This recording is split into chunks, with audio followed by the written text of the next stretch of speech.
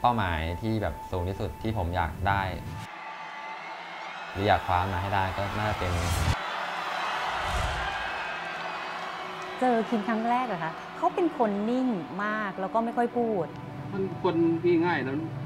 ไม่อยากนั่นนะไม่อยากอวดไม่อยากอะไร เด็กเพิ่งจบม .3 มานะคะ แล้วเขาแบบมีความคิดที่จะดูแลครอบครัวทำไมเขาจะดูแลครอบครัวทั้งๆที่เขาเพิ่งมาเรียนม .4 ได้ไม่ถึงเดือนเลยอย่างเงี้ยค่ะถ้าถ้าที่จำได้ก็แบบเหลือเงิน